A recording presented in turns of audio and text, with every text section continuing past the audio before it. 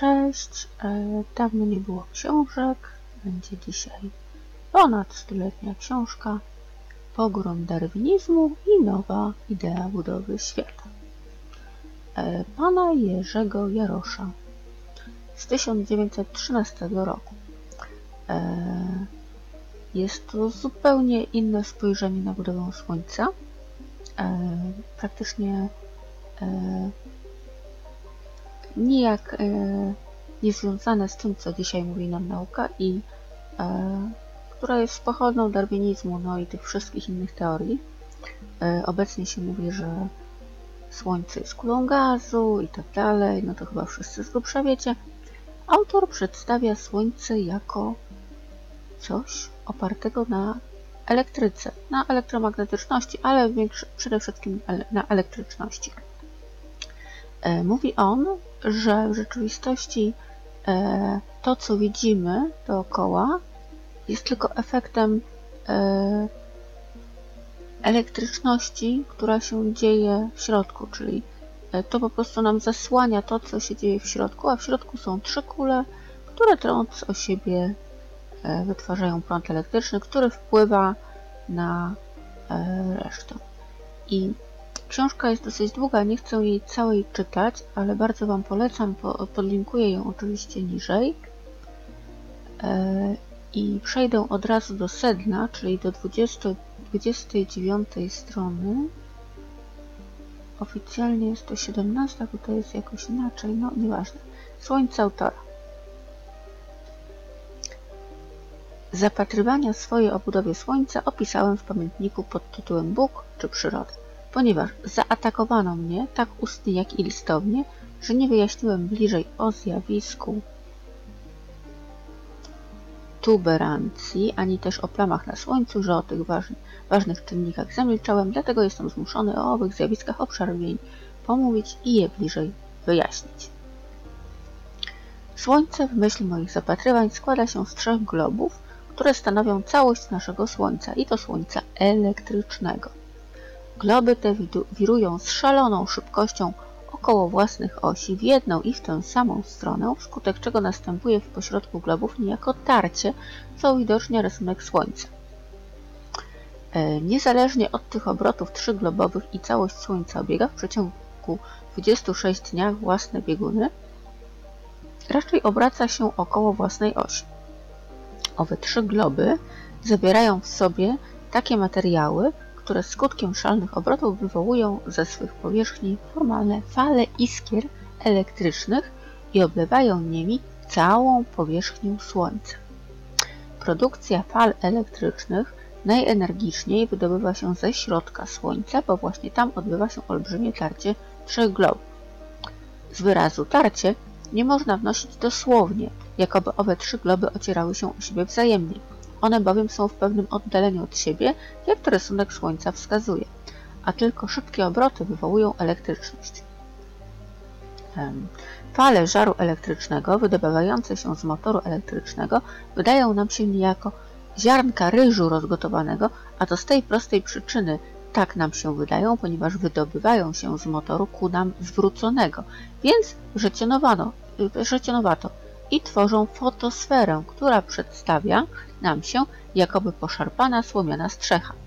Owe fale żaru elektrycznego, unosząc się wyżej i wyżej w postaci języczków, tworzą około Słońca protuberancję, chromosferę, a ponad chromosferą unoszą się promieniste odblaski złożone z drobnych i skupionych iskier elektrycznych, podobnych do warkoczy komet. Są to skupione promienie około Słońca, niejako opona otaczająca Słońce, która przynosi nam światło i ciepło. Jest to właśnie korona Słońca. Motorowe trzy globy zawierają w sobie takie materiały, które by wytwarzały żar światła elektry elektrycznego, bo światło zawiera w sobie i zjawisko cieplika. Otóż owe globy, które tworzą całość Słońca, zawierają w sobie magnez, miedź, cynk, materiał węglika żarowego i tym podobne. Słońce więc, jako siła magnetyczno-elektryczna, utrzymuje wśród ciał niebieskich równowagę, oświeca i ogrzewa je swymi promieniami, które ciała niebieskie, jak i nasza Ziemia, ku sobie ściągają, wchłaniają je w siebie i tym sposobem ogrzewają swe otoczenie. że tak jest, a nie inaczej, stwierdzają ten objaw dnie i pory nocne.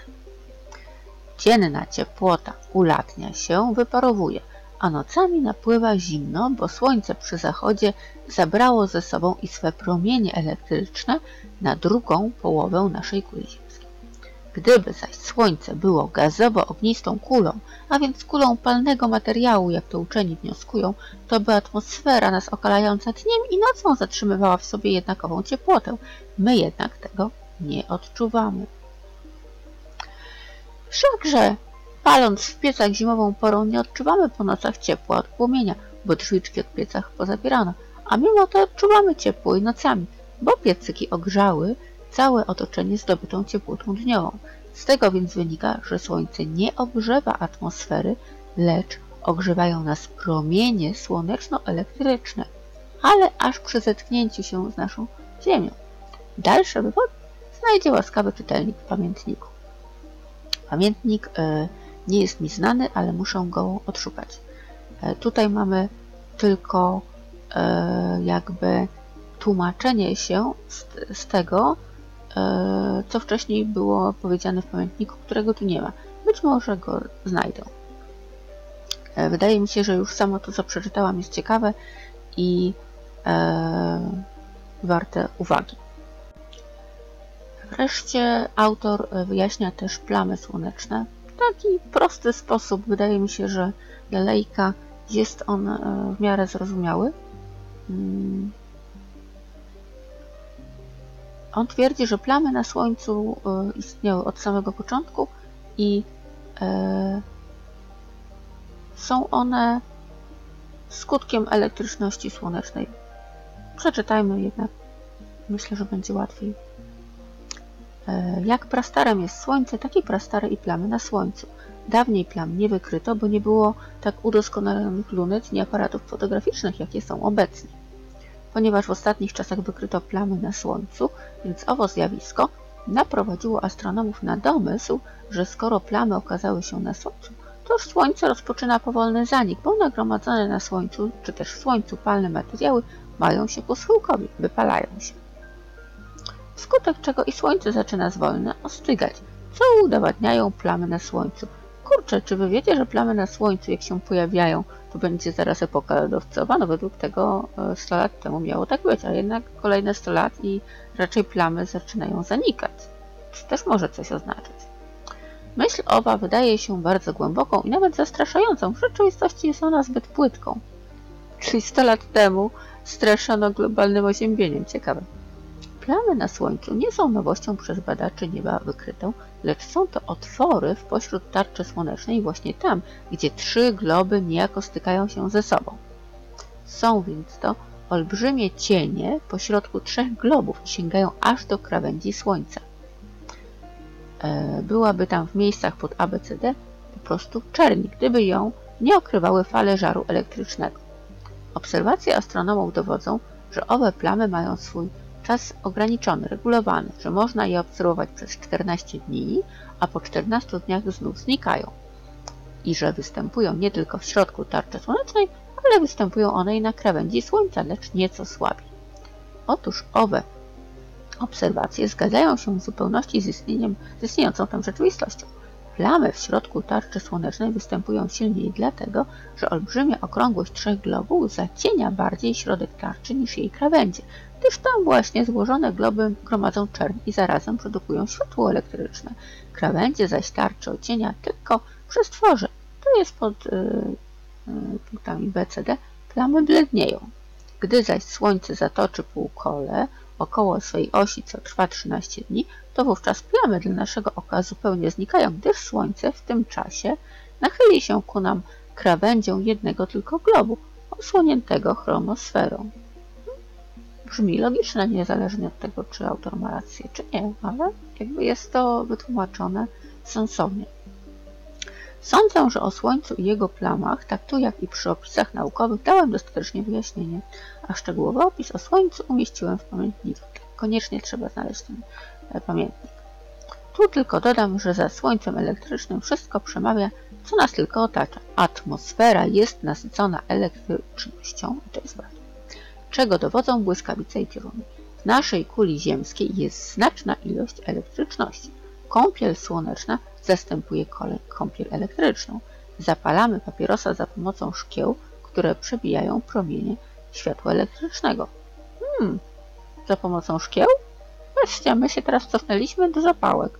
Jakimi szkłami on zapala? Hmm, no, ciekawostka.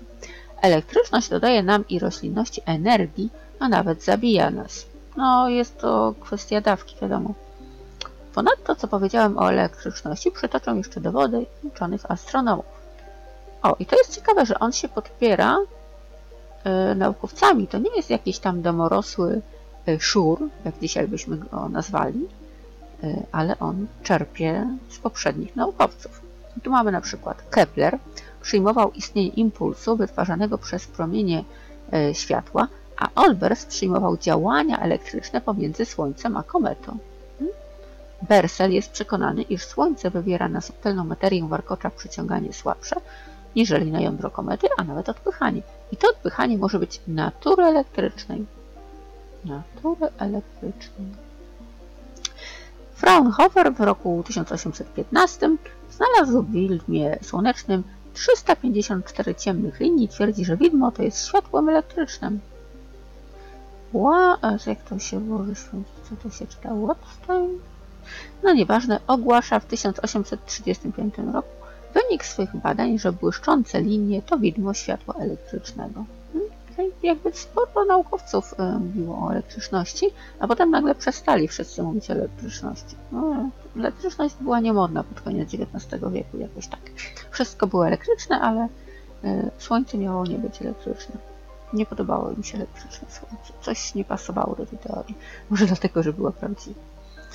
E, Donati z okazji badania Wielkiej Zorzy w 1872 roku wypowiedział myśl, że istnieją prądy elektryczne biegnące od Słońca do Ziemi. Czyż to nie najpoważniejszy dowód e, moich twierdzeń? Hmm. Z tymi e, twierdzeniami może być ta sprawa, że być może ukrywana jest prawdziwa natura Słońca, dlatego że gdyby się okazało, że Słońce jest elektryczne, to mogłoby się okazać, że Słońce jest po prostu obiektem sztucznym. A to już by było bardzo niebezpieczne dla wszystkich, więc lepiej, żeby ludzie myśleli, że Słońce jest obiektem naturalnym, mm, a czym jest, to już nikt nie będzie jakby, e, jakby nie będzie się nad tym zastanawiał.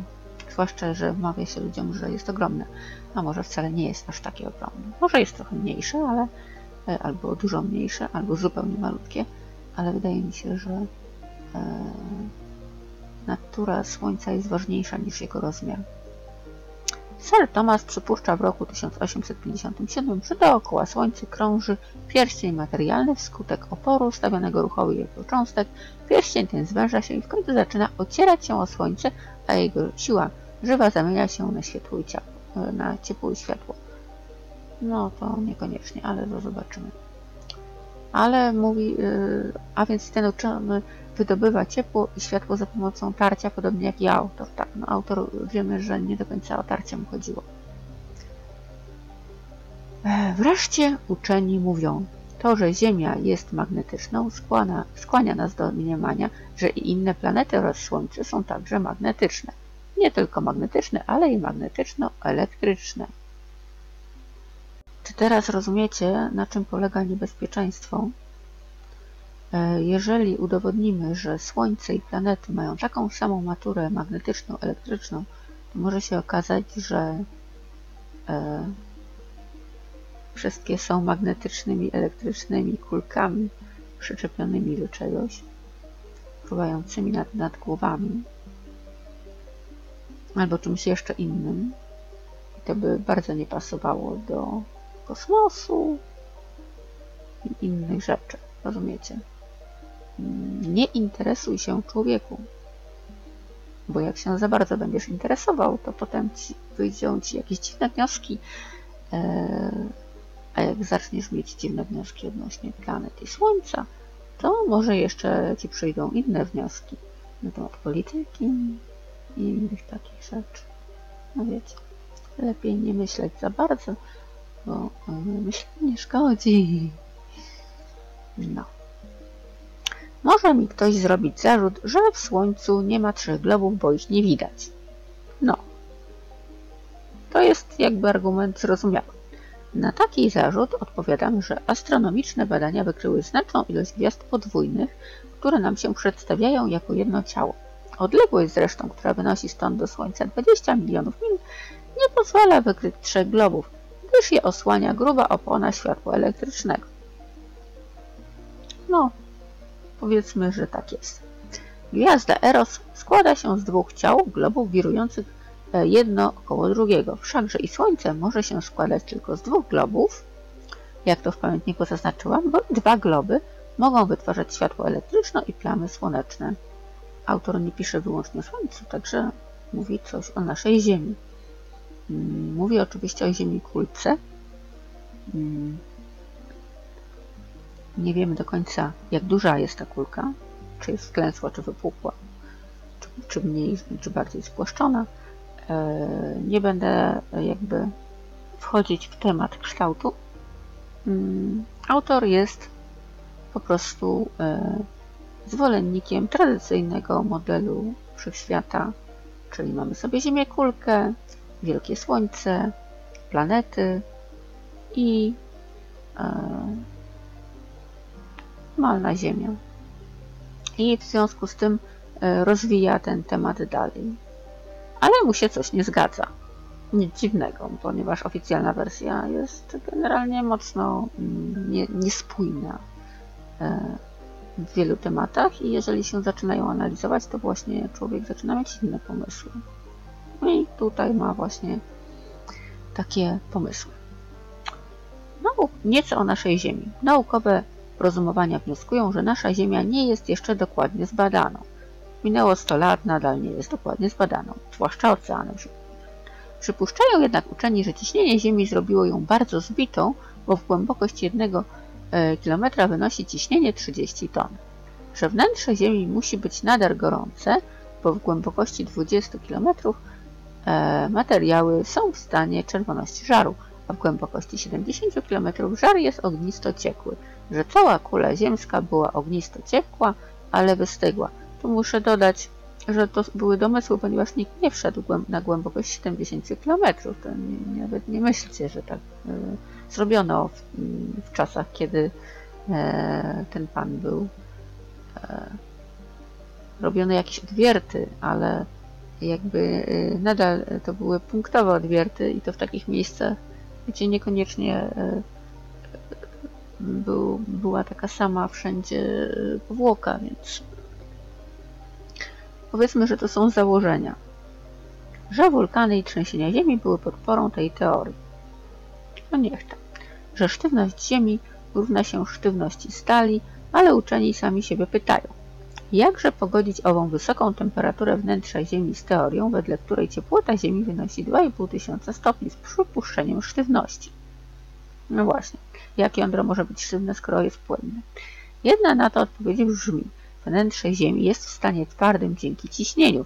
Po drogą doświadczenia stwierdzono, że w żarze stopionego materiału skorupy ziemskiej, poddane wysokiemu ciśnieniu, ponownie twardną, a więc ciśnienie idzie w parze z przyrostem temperatury i całość utrzymuje się w stanie sztywnym. Aha, czyli mm, metaliczne wnętrze planety jest e, stałe nie dlatego, e, że jest zimne, ale dlatego, że jest wysokie ciśnienie.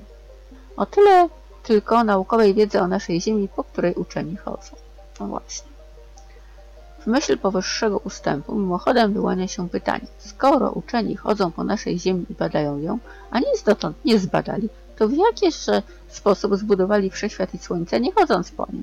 No, to jest słuszna uwaga. A żeby uczonym masonom zabić małego klina do ich mózgownic, przedstawiam poniżej własną hipotezę przeciw naukowej hipotezie o naszej Ziemi. Ciekawe, czy ten pan dożył e, starości, czy zaatakował go seryjny samobójca. Oto moje zapatrywania, a stąd i wnioski. Ziemia nasza jest istotnie zbitą masą, sztywną, ale bez wewnętrznego żaru, czego są dowodem wulkaniczne wybuchy i wygasłe już kratery. Powyższy ustęp zakrawa na ironię moich twierdzeń, bo uczeni dowodzą wulkanami i kraterami, że wśród naszej Ziemi istnieją odwieczne i nigdy nieprzerwane żary, a ja zaś twierdzę i udowadniam wulkanami i kraterami, że w środowisku naszego globu nie ma żarów, a tym mniej o ciepłocie 2500 stopni. A żeby powyższe zagadnienie jasno rozwiązać, uzasadniam swoje twierdzenia następującymi wywodami.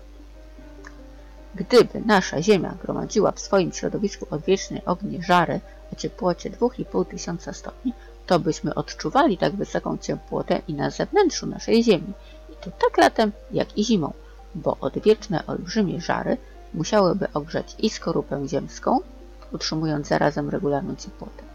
Wszakże miniaturowy tylko żar ceglanego pieca wypala cegłę aż na zewnątrz ułożoną, ułożonego stosu, a cóż dopiero musiałby oddziaływać na naszą Ziemię, tak olbrzymie i straszne ognie wewnętrzne, o jakich nas wiedza poucza. No właśnie, mamy, mamy pod spodem żar, który teoretycznie ogrzewa skałę, tak? Dlaczego skała jest zimna? No raczej nie wiem, czy widzieliście kiedyś, jak się ogrzewają kamienie e, wokół ogniska, ale zaręczam Wam, że, że ogrzewają się naprawdę porządnie. E, obojętnie jakiego to są gatunku kamienie, czy e, jakieś granity, czy inne zwykłe. Ogrzewają się potwornie i jeszcze potem długo, długo po wygaszeniu ogniska wręcz parzą. A my tutaj podchodzimy i i co? No i skała jest zimna, bardzo zimna, więc jak to możliwe, że może ją coś bardzo podgrzewać od środka? Punktowo, miejscowo może tak, ale na całości raczej nie. Jeżeli w domowych piecach regularnie palimy, to i piece utrzymują na zewnątrz regularną ciepłotę i nawet pokoje ogrzewają. Żary wewnętrzne w myśl naukowych wywodów wynoszą 2,5 tysiąca stopni ciepłoty, która jest tak wysoka, że wewnętrzne materiały złożone z kamienia, żelaza i metali byłyby ognisto ciepłym żarem. Tak wysoka e, ciepłota musiałaby przez tysiące wieków rozegrzać i naszą skorupę ziemską.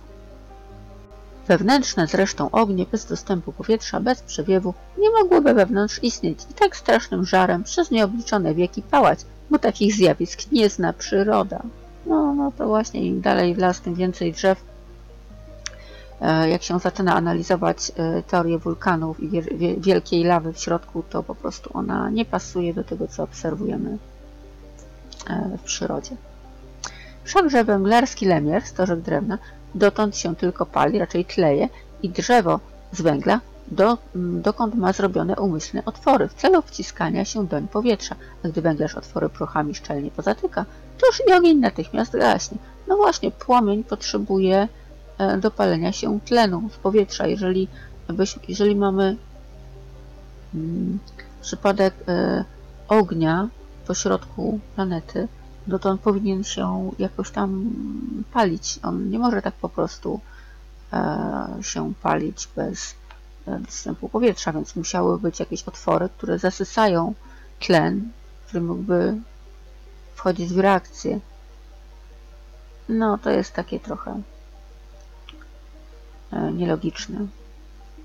Aby więc e, ognie w naszej kuli ziemskiej utrzymywać się mogły, musiałoby mieć przewiew powietrza, a ponieważ powietrze do wnętrza Ziemi nie ma dostępu, przeto i naukowych żarów tam nie ma. Naukowe twierdzenia, jakoby wybuchy wulkaniczne pochodziły z żaru wewnętrznych ognisk, są błędnie pojęte i niedorzeczne. No, chyba, że mamy tutaj niebezpieczną historię pod tytułem Wnętrze Ziemi jest puste, też zawiera tlen, a ogień jest tylko pomiędzy zewnętrzem a wewnętrzem. E, to by dowodziło istnieniu dwóch światów Lalaka, tak? To pamiętacie.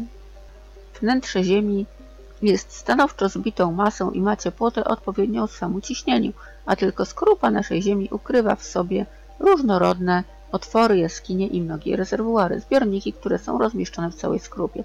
Są to zjawiska czysto naturalne, bo pochodzą one z czasów potopowych. O, jakie czasy potopowe? Jakie znowu czasy potopowe? Patrz, 100 lat temu e, pan pisał o czasach potopowych tak jakoś zupełnie bez wstydu, a myśmy 100 lat później musieli to jeszcze udowadniać, że och, naukowcy udowadniają, że były jakieś ślady potopu, a on tutaj pisze tak jakby wszyscy wiedzieli, że ten potop był. Czyli pamięć 100 e, lat temu o potopie była na tyle żywa, że nie, nie krępował się tłumaczyć, e, że potop jakiś był. Po prostu wszyscy wiedzieli, że był potop, że były czasy potopowe. I, i po prostu były. Ta pamięć pokoleń była jeszcze na tyle żywa, że jeszcze e, nie zdążyli kłamać, że nie było potopu, bo ja pamiętam takie czasy, kiedy w ogóle traktowano e, mm, historię o potopie jako zmyślone bajki, ponieważ niestety e, było zbyt dużo jednak tych badań geologicznych, które potop po prostu udowodniły, no to się z tego wycofali, ale kiedy byłam dzieckiem, to starano się nawet ten potop jeszcze obśmiać. Także były próby jeszcze większej E, większego zakłamania, tylko się po prostu nie udało, no bo jeszcze wtedy naukowcy bywali uczciwi, nie to co teraz. W powierzchowsmiankowatych rezerwuarach kryją się olbrzymie pokłady palnych materiałów jak węgla kamiennego, wosku, nafty, siarki. W ogóle ciekawe skąd one się wzięły. O, i on tutaj odpowiada, owe materiały pochodzą z olbrzymiej ilości drzew, tudzież z olbrzymiej ilości różnorodnych roślin przedpotopowych, morskich, żyjątek i lądowych, powalonych i przymulonych mułami, kamieniami, skałami, piaskami, iłami, kruszcami, a to wskutek różnorodnych kataklizmów, jak potopami, zapadnięciami, usuwiskami, kurczeniami się ziemi i tym podobnymi katastrofami, a nie epoką lodowcową. O! O, ciekawe, jeszcze raz. Owe materiały, czyli te właśnie węgiel, wosk, nafta i siarka, pochodzą z olbrzymiej ilości drzew, tudzież z olbrzymiej ilości różnorodnych roślin przedpotopowych, morskich żyjątek i lądowych, powalonych i przymulonych mułami, kamieniami, skałami, piaskami, iłami i kruszcami, a to wskutek kataklizmów, czyli potopów, usuwisk, kurczenia ziemi, a nie żadnych lodowców. Hmm. Sami widzicie, że 100 lat temu obecna e, nauka e, byłaby teorią spiskową. No dobra, idźmy dalej. Tam więc, gdzie są nagromadzone palne materiały, nagromadziła się i znaczna ilość zapalnych gazów. Atmosfera gazowa, ale owa atmosfera gazowa nie zapala się bez przyczyny, samowładnie, ani też nie wybucha. E, nie wiem, czy wiecie, ale e, jak jest wysypisko śmieci, E, to ono musi być odpowietrzane, ponieważ inaczej by wybuchło z e, gazów, które się wydobywają ze śmieci. Wydaje mi się, że to samo zjawisko mamy w przypadku węgla, ale nie tylko węgla. Tam po prostu jest przywalona ogromna ilość śmieci, śmieci biologicznych i śmieci być może nie biologicznych, tylko no sami wiecie jakich. E, z tak zwanych poprzednich cywilizacji, czy może inaczej cywilizacji przedpotopowej i to po prostu produkuje gaz. I ten gaz musi uchodzić, bo inaczej e, wybucha. A jeżeli e, ten gaz nie uchodzi, no to wtedy tworzą się wulkany i tak dalej. Gdzieś, gdzieś to musi ujść w ten czy inny sposób. A jednak coś owe gazy zapala i spowoduje podziemne huki, grzmoty i groźne wybuchy. No, Właśnie pytanie, skąd się biorą wybuchy podziemne? Ziemia nasza zawiera różnorodne gatunki metalu, kruszczy, żelaza, wapna i skał, e, wśród których ukrywa się ogromna ilość magnezu. Siła magnetyczna, a oprócz siły magnetycznej Ziemia nasza jest nasycona elektrycznością. Mhm. Elektryczności naszej Ziemi udziela Słońce, wskutek czego Ziemia nasza gromadzi w sobie siłę elektryczną, magnetyczną. Jak więc powstają wśród naszej atmosfery błyskawice, huki, grzmoty i pioruny, gdy się nagromadzi w powietrzu znaczna ilość elektryczności, tak samo dzieje się wśród naszej skorupy ziemskiej, bo i tam gromadzi się podziemna elektryczność. I gdy nastąpi silne napięcie elektryczności, wówczas zapala się ona i następują podziemne huki, wysyłając zarazem swe iskry elektryczne do ściągających je przedmiotów, a uderzając w nie zapalają owe przedmioty. E, wtedy to właśnie słyszymy huki podziemnych piorunów i odczuwamy trzęsienia ziemi. A gdy iskra elektryczna natrafi na zgromadzone podziemne gazy i je zapali, wówczas następuje szalony wybuch w wulkanicznych kraterach, o których dr Dunikowski w swoich opisach z Meksyku bardzo zajmująco i barwnie wspomina. Jeżeli gazy nagromadziły się w dalekiej odległości od pierwotnych kraterów, to w takich razach wybuch zapalonych gazów i para wodna rozdzielają w słabszych miejscach skrupę ziemską i siła wybuchowa wyrzuca nowym kraterom na zewnątrz naszej Ziemi lawinę, złożoną z popiołu, żużli, piasku, kamienia i wrzącej wody. Miejscami zaś wulkaniczne wybuchy wyrzucają i wypalane wapno, które też jako gaszące wrzące, gdy się dostanie do niego woda, przyczynia się do wulkanicznych wybuchów. No właśnie kiedyś był taki program, który mówił, że gdyby do Etny do, dostała się woda, to cała Sycylia wy, wyleciałaby w powietrze. Miejmy nadzieję, że to nie nastąpi. Z powyższego przedstawienia o źródłach wulkanicznych wynika, iż ognie podziemne nie są skupione w środowisku naszej kuli ziemskiej, lecz tylko w skorupie ziemskiej i to tylko tam, gdzie są nagromadzone materiały palne i wybuchowe gazy. Huki więc podziemne, które w jednej sekundzie rozciągają się na kilkaset, a nawet na parę tysięcy kilometrów, trzęsienia ziemi, wulkaniczne wybuchy, wygasłe kratery i wówczesny zamęt klimatyczny są niezbitymi dowodami, że żary podziemne powodują elektryczność, której iskry zapalają gazy, a gazy znów zapalają palne materiały i wreszcie palące się materiały rozpalają do wysokości żarów swe otoczenie, jak skały, wapno, kruszce i metale. Owo zaś żarowe otoczenie ogrzewa lub nawet gotuje w swych rezerwuarach wody do wysokości wrzenia, które jako mineralno-gorące źródła wydobywają się szczelinami na powierzchnię Ziemi. I są dalszym dowodem, że podziemne ognie mieszczą się tylko w ziemskiej skorupie i to tylko tam, gdzie są nagromadzone palne materiały. Autor mówi też o przypływie mórz. To jest w ogóle ciekawostka, która mi przyszła e, jakby do głowy w trakcie czytania tej książki, że często się nam mówi, że księżyc powoduje przypływy i odpływy morza. I ja się na przykład zastanawiam, dlaczego Słońce nie powoduje przypływów. Mówi się, że księżyc, no dobrze, ale Słońce ma e, jakby oficjalnie dużo większą siłę przyciągania, więc tym bardziej powinno przyciągać wodę, a jest mowa tylko o księżycu, więc no to też jest takie dziwne. O przypływie mórz. W moim pamiętniku wykazałem, że przepływy morza w myśl naukowych wywodów błędnie pojęto, za który to wyraz spotkał mnie profesorski zarzut. Oto uczeni opierają swe wywody na zapatrywaniu Darwina i innych przyrodników, twierdząc, że przepływy mórz zależą wyłącznie od Księżyca i Słońca. A zaraz, no właśnie, tutaj jest o Księżyca i Słońca. I to mnie zastanowiło, ponieważ teraz nic się nie mówi o przypływach spowodowanych Słońcem. Mówi się tylko o Księżycu. Zresztą to i tak zostało już trochę obalone, ale które przyciągają wody do morskich brzegów.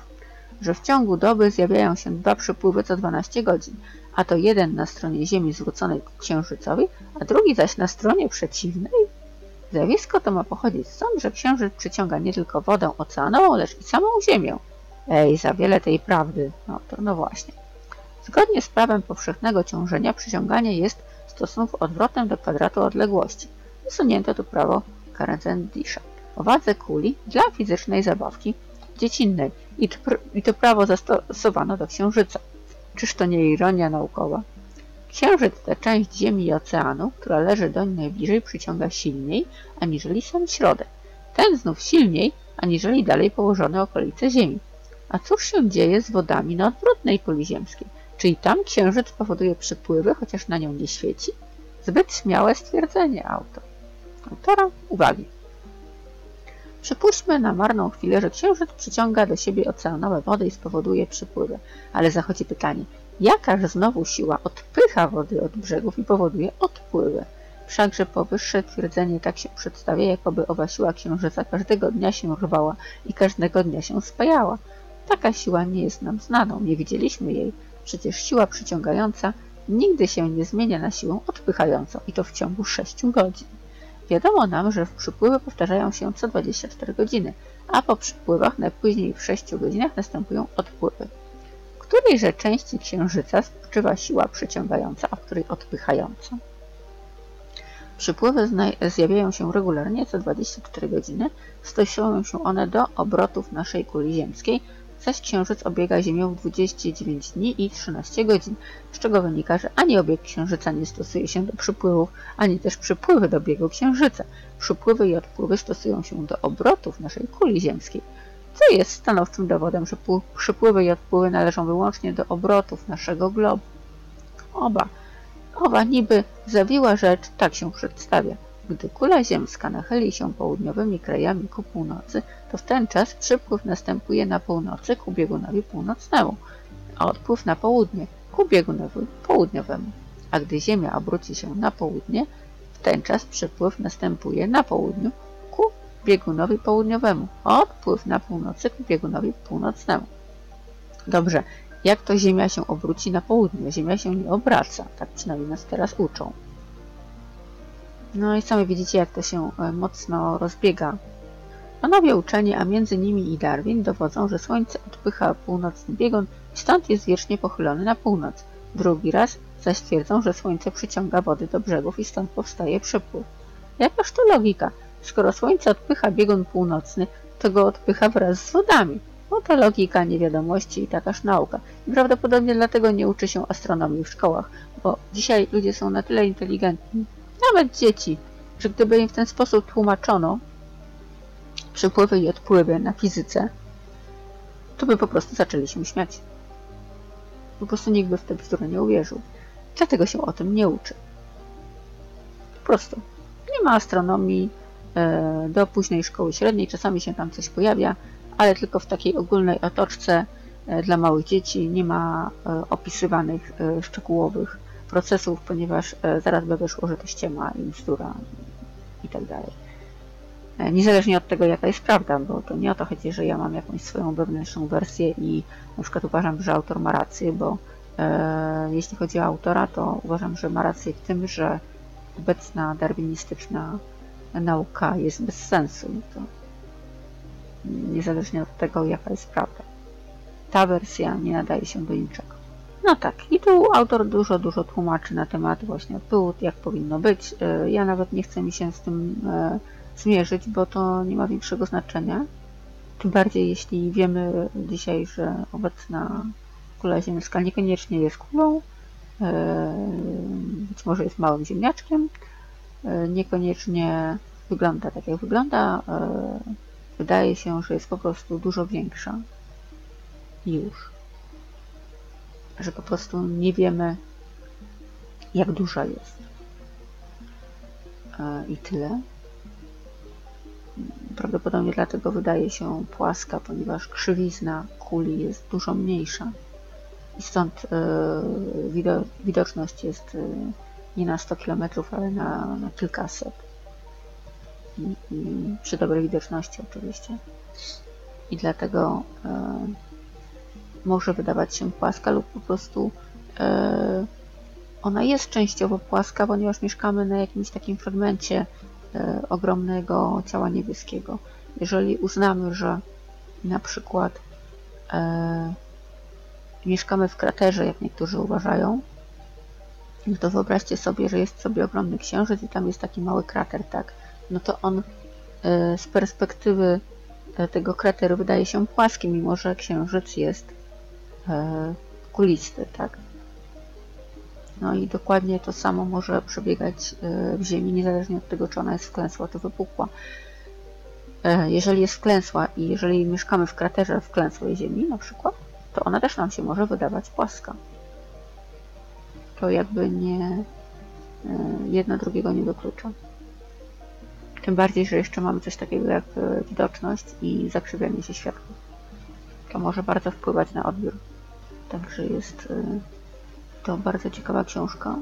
Taka po prostu, żebyście sobie pomyśleli, że nie tylko wy e, się zastanawiacie nad kształtem Ziemi, że e, i nad e, zależnościami. Mm, najbardziej mnie tutaj zainteresowało Słońce, ponieważ w tej książce jest całkowicie zakwestionowany model Słońca gazowego. No i ja się z tym akurat zgadzam. No i mały epilog, e, czyli e, wtrąd masonerii. I tutaj autor mówi o wątku e, połączenia darwinizmu z masonerią, bo nie wiem czy wiecie, ale jest to związane ze sobą. W czasach XVIII i XIX wieku rozwielmożniło się w Anglii, a więc w kraju Darwina, wolnomularstwo, masoneria, gdzie roiło się od lóż wolnomurarskich, co i Polskę w wysokim stopniu zaraziło. Do lóż wolnomuralskich należeli lordowie, kapitaliści i uczone głowy, do których należał i uczony Darwin, co najdobitniej stwierdzają jego pisma. Wczesne Stowarzyszenie Wolnomularskie, jak i dzisiejszy darwinizm miało na celu obalać religijność, kościoły, wiarę w Chrystusa Pana, wiarę w Boga i samego Boga, a to znów w tym celu, aby gromadzić kapitały na światowe rozpusty, bo koroną idei wolnomularskiej są kapitały, ku gromadzeniu których religijność im przeszkadzała. A żeby dopiąć zamierzonego celu, każdy członek loży pracował według swojej zdolności. To też jedni udzielali kapitałów, inni łatwowiernych namawiali do swego stowarzyszenia, a uczeni pisali zdrożne dzieła, obalając wszechmocność boską i jego wszechtwórcze dzieło. Ponieważ do obalenia religijności potrzebowali masoni zasadniczej podstawy, przeto powierzyli ową czynność przyrodnikom, Bergsonowi, Spencerowi, Lamarckowi i w końcu Darwinowi.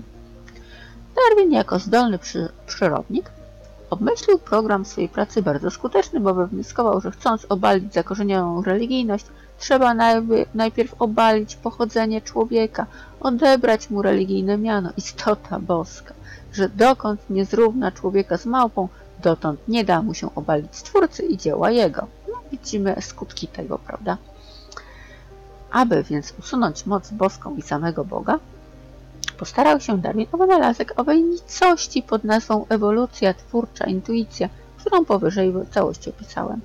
Świetny to wynalazek dla masonów, owa ewolucja twórcza, bo pospolity śmiertelnik nie ma o niej najskromniejszego pojęcia, gdyż mądry Darwin użył tu takiego działu przyrodniczego, który dla społeczeństwa jest tajemniczością, bo dla poparcia swego doboru i celowości, celowości zużytkował roślinność, kwiaty, pylnik, nektar, dalej że stróż nie lata, ale za to nogami kopie. A są to tajemnice, których najzdolniejszy przyrodnik nie ma jeszcze szczegółowego pojęcia. Jest to dział nauk przepiękny, bo poznaje się w nim skrytą moc przyrody, ale nie jest on w zupełności zbadany, nawet przez przyrodników. No właśnie, przyrodnicy przede wszystkim opisują przyrodę, ale jej nie badają. Kto więc nie zna naturalnych zjawisk i czynności wytwarzanych przez owady, ptactwo, kwiaty, kto nie zna ich obcowań i zapłodnień, ten skutkiem niewiadomości rzeczy uległ złudzeniom Darwina i wyniósł go do wysokości chińskiego bożka. No tak, darwinizm jest czymś w rodzaju religii. W ten sposób darwinizm rzeczywiście podkopał, e, podkopał fundament cywilizacji łacińskiej opartej na, na tym, że większość jakby kapitału była e, poza zasięgiem zwykłego człowieka. Co oznaczało, że zwykły człowiek był też dosyć odporny na rozpustę rzeczywiście, bo na przykład, żeby bywać w burdelach trzeba mieć pieniądze, no umówmy się, tanie to nie jest, więc biedny człowiek po prostu nie był rozpustny z oczywistych względów, nie mógł też podróżować. Podróże y, jakby wpływają na rozwiązłość, ponieważ jakby zapraszają do przygodnych związków. Y, Im człowiek jest bogatszy, im taki przeciętny człowiek jest bogatszy, E, tym bardziej się od razu idzie w hazard, tak, w alkoholizm. Dużo, dużo jest takich przypadków. Można powiedzieć, że przed złem tego świata e, chroni przede wszystkim bieda. Przed narkotykami, które są drogie. Przed e, przepuszczaniem majątku. Przed zdradami. Bogaci ludzie zdradzają się o wiele częściej niż biedni. Zwłaszcza kobiety, które mają pieniądze częściej zmieniają mężów. Autor jest, uważa się za chrześcijanina, to może jest ten, i, a jednocześnie przeciwnika masonerii, co nie jest takie oczywiste, bo dzisiaj e, często e, hierarchowie kościoła należą w sposób jawny do masonerii. No i dalej jest dyskusja z listami i tutaj mamy właśnie ten e, pamiętnik Bóg czy przyroda. 300 stron. Będziemy go szukać. Mm, na pewno gdzieś jest. Być może będzie to w następnym filmie. Także dzięki za wysłuchanie całości, jeśli jeszcze dotrwaliście do końca. E, no tak trochę po łebkach prze, przeleciane. Książka jest o wiele dłuższa. E, zachęcam do przejrzenia z wielu powodów.